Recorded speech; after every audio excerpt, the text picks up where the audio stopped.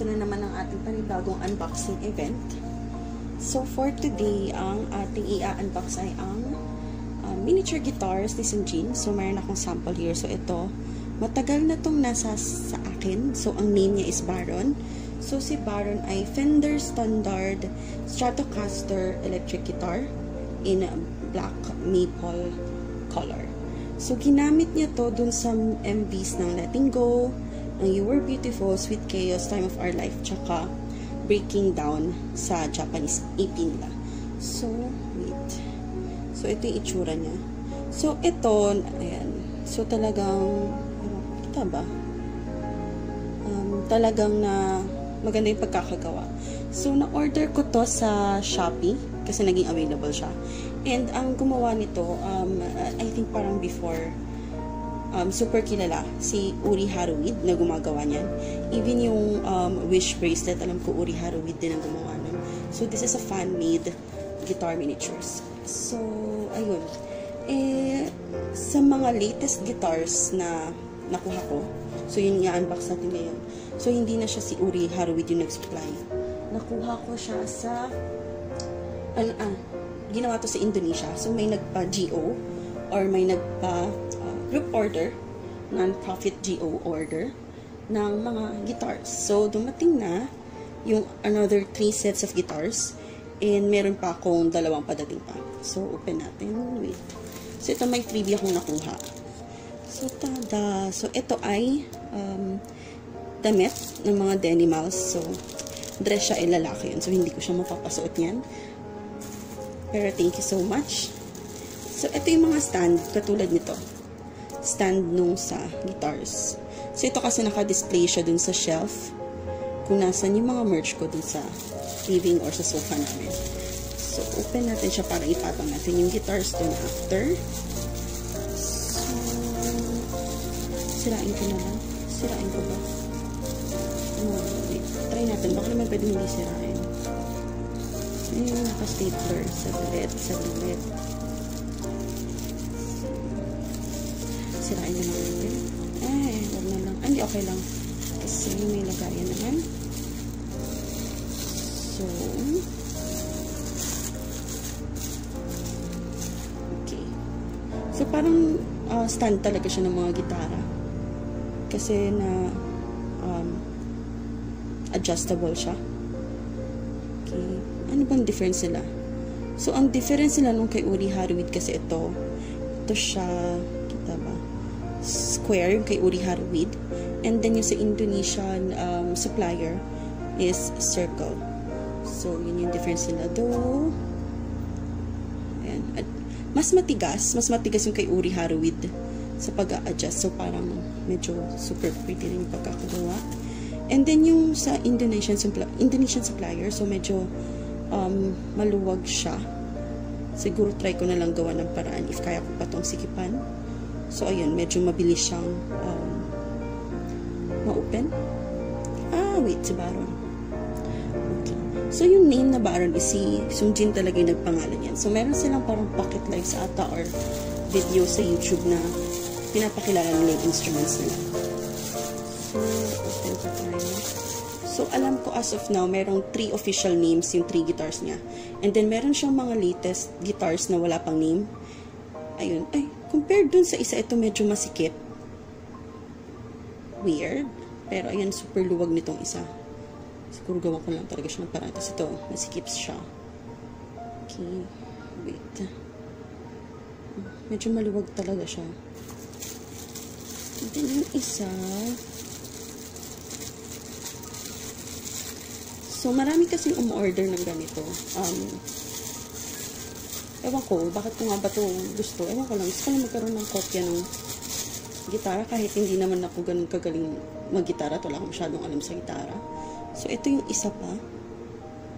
Medyo masikip din siya. So, yung isa lang talaga yung medyo maluwag-luwag. So, ngayon, start natin bubuksan si Atom. So, yung packaging niya, hindi siya tulad nung kay um, Uri Haruid na medyo pretty ito, nasira ko lang siya. Pero, ayan o. Oh Super pretty ng lagayan ng kay Baron. Okay, so, open na natin siya. Ooh.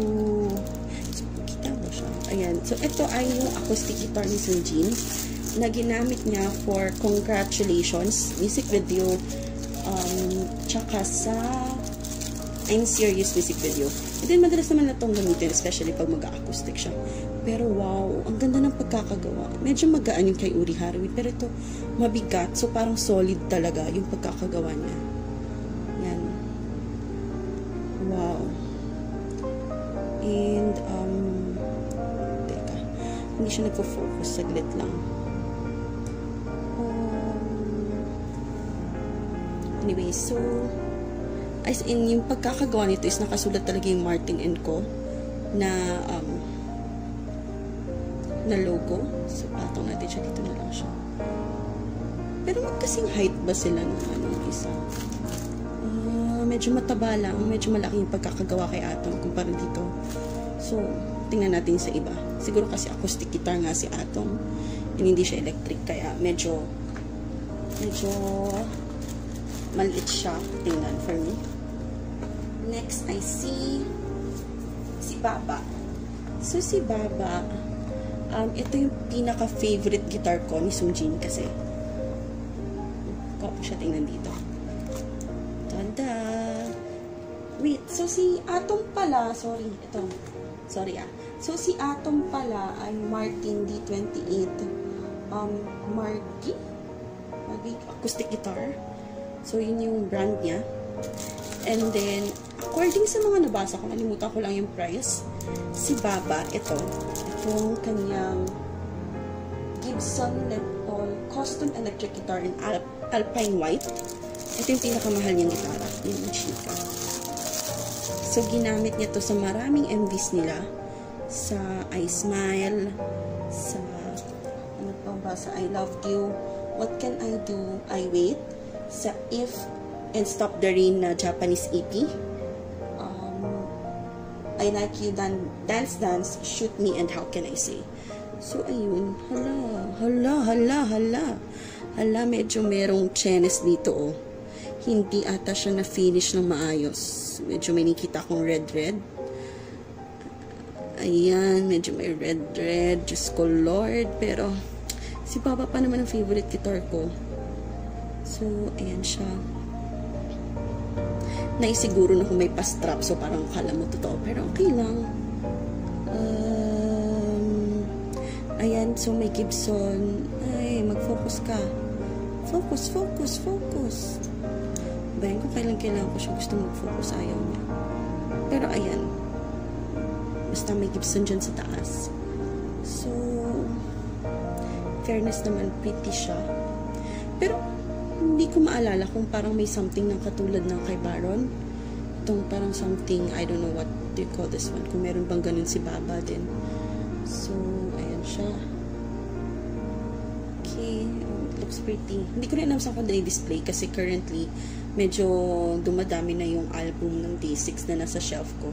And pretty kasi na nandun si Baron as a design kasama ng album. So, hindi ko alam kung i-display ko rin ba si Baba, si Atom, and itong last na meron ako, which is si Pinky. Pinky, hindi talaga ito yung official name. So, itong tatlo lang yung may official name na galing kay Sunjin. So, itong si Pinky, tinatawag lang siyang Pinky kasi color pink siya. So, ginamit niya to as in bagong labas na guitar siya ni Sunjin or, well, to what I know, na first time niyang ginamit in public ata during the present concert last year which is um, December 22 2019 sa Seoul. So ito si Pinky. Ito siya. Ooh wait merong freebie pa. May freebie pa si si Nika so ayan may shoes ako nung Denimals ko. Ayan. So cute cute. Thank you so much Nika ko muna dyan sa gilid. Then, merong stickers. So, pwede ko itong gamitin sa planner ko. Anyways, so this is the si Pinky. Si Pinky, Pinky, Pinky. Ah, yan. Ito, oh. Ay, siguro si Baba wala talagang um, parang ano ba to? Lever? Chuchu? I don't know. Wala talagang alam sa guitar. So, ito, nagamit niya to during the present concert. So, ito ay Fender guitar din siya may kita ba yung logo? Pero ito siya. May nakasulat na Fender, Fender, yeah. Fender um, FSR American Standard Stratocaster. So, yun yung kanyang brand. So, ayan na siya. Ayan na sila. So, ayan. Nabanggit ko ba kung saan ginamit si Baron? Pero ito sa letting go. Kumbaga basta ito pa rin yung pinaka-the best sa akin. Though hindi lang talaga maganda yung pagkakagawa. And then, once nakuha ko na yung dalawa pang item na na in order ko rin from Indonesian supplier. So, same supplier siya nitong tatlo dito sa gilid. Which is si si Blacktan. Blacktan ang tawag, pero hindi rin siya official name. So, si Blacktan naman ay gamit uh, a Fender Black Top Stratocaster HH electric guitar in black marble or maple na uh, color. So, ginamit niya yon during Weekly Idol, um, Show Music Core part uh, performance ng Time for Life, and then sa Sweet Chaos ng M Countdown. Tapos, um, ayun, parang same siya ni Baron, ni Baron, pero black siya lahat and medyo may pretty design sa gilid din ano. So, yon um, on, ano pa siya, parang ginagawa pa siya. And then, yung isa sa last na in-order ko, yung pinaka-latest niyang guitar, which is yung ginamit niya sa zombie, uh, sa zombie music video. Yun yung pinaka-latest guitar niya. Medyo ano eh, med merong parang discussion kung ano ba talaga yung guitar kasi may nagsasabi na Swing Art Series siya na vintage white rosewood fingerboard ng isang Korean company. And then may nagsasabi na isa rin siyang Fender guitar either the Japan ST62 or the Fender 2011 Artist Series. So, not sure kung ano siya. And, pero nakita ko dun sa pictures ng sample is parang Fender yung ginawa nila. Hindi siya swing. Yun, not sure talaga kung ano kasi nga wala pang masyadong performance ang basics na gamit ni Sungjin yung latest guitar niya. And then, merong isang guitar na hindi, hindi, wala siya sa ano, sa list ng guitar ni Sungjin. As in, parang hindi nila minaman, minamanufacture, which is yung Gibson SG Special 2017 guitar niya na ginamit during the days gone by MV and parang sa isang shoot me video na napanood ko somewhere. So, yun, as in, parang ito, pantay dito sa taas and then medyo brassy yung color niya, medyo brownie. And sexy tingnan yung guitar. So, yun, sana may mag-manufacture. So, Do sinend ko na siya dun sa nagpa nagpa-group order nito. Ewan ko lang kung itatanong niya if magma-manufacture ba talaga ng ganun. So, ayun, um, wag na nating alamin kung magkano, magkano ko sila nabili. So, basta pretty sila. Ayun lang. So, I think that's all for my um, D6 guitar miniature um, unboxing video. Thank you so much for watching. Bye!